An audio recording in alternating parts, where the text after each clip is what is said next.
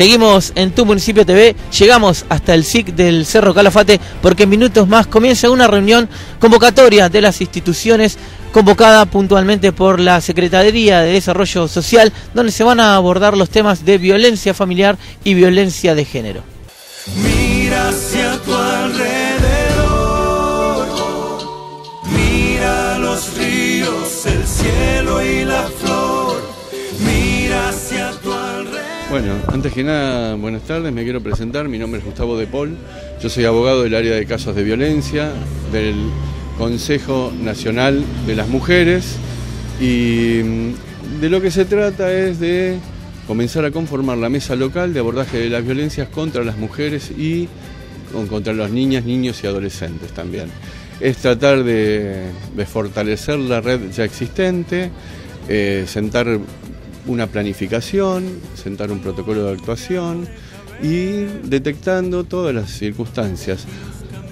Quiero aclarar que no se trata que viene el Estado Nacional a bajar una línea, sino simplemente a ser, ser parte de esta construcción que es la Red Nacional de Abordaje de las Violencias. Eh, intercambiar, tomar conocimiento de algunas cuestiones, aportar algunos conocimientos técnicos que, que pueda poseer y esto se viene haciendo a lo largo y a lo ancho de todo el país. Y en esto estamos aquí. Recién mencionabas que puntualmente vienen trabajando en todo el país. En Calafate, ¿qué, ¿cuáles son las perspectivas que tienen, sí, en este caso, con las instituciones convocadas? Bueno, yo estuve hace 20 días, estuvimos con dos compañeras, la, la directora nacional de asistencia técnica del Consejo Nacional de Mujeres y mi compañera, la licenciada Lorena Beltrán. Vinimos a dar un taller para, distintas, para los miembros de distintas instituciones sobre perspectiva de género y divulgación de la ley 26.485, de, que es de protección integral de las mujeres.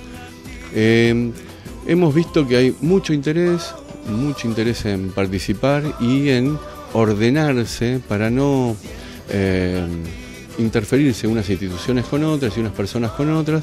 Y hay mucho interés también en coordinar las acciones.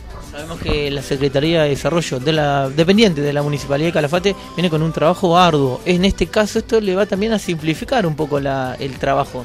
Sí, seguramente además eh, siempre en todo esto es tratar de, ir eh, divulgando la perspectiva de género, esto que tiene que ver con la desigualdad de, de, poder entre varones y mujeres a favor de los varones y en detrimento de las mujeres, y a la Secretaría de Desarrollo de la Municipalidad es muy posible, y a, niñez de la municipalidad también es posible que, se le simplifique y por lo menos además también que Calafate dé una respuesta técnica adecuada, digamos, ¿no? desde todas las instituciones, porque este es un fenómeno complejo, multicausal, de índole vincular y psicosocial, que requiere un abordaje interdisciplinario e interinstitucional con perspectiva de género. Tratar de, vibrar todos en esta misma frecuencia. En este caso el trabajo en conjunto, ordenado de las instituciones es fundamental para el buen desarrollo. Fundamental, porque las instituciones están, los recursos humanos están, es simplemente ordenar y tratar de, de que se aproximen a lo, a lo, que es esto de perspectiva de género. Bueno, Gustavo, muchísimas gracias y suerte en la charla. Bueno, muchísimas gracias a ustedes y mucho gusto. ¿eh?